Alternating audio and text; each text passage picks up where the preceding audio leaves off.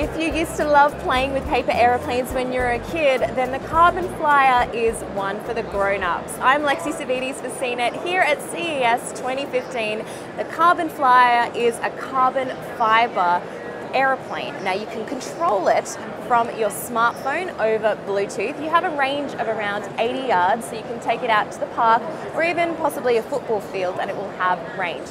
Now it's got dual motors right here and you can control them through the app, as I said, by sliding, sliding the dial up and down to increase your strength also on the front is a 720p HD camera so you can view all the video after it's been shot. Now there's no live stream, but it records to micro SD cards so you can look at all your thrills and spills after the fact.